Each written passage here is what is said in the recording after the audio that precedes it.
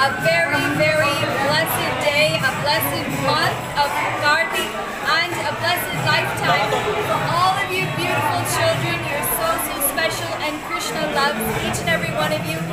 Always remember Krishna at all times in your life, and you will find so much happiness in your heart.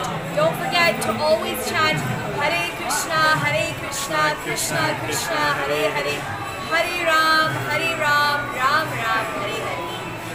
सभी मेरे प्यारे बच्चों जो वृंदावन भक्ति कुटीर में हैं उन सभी को बहुत ढेर सारा मेरा प्यार वृंदावन से मैं अभी हूँ।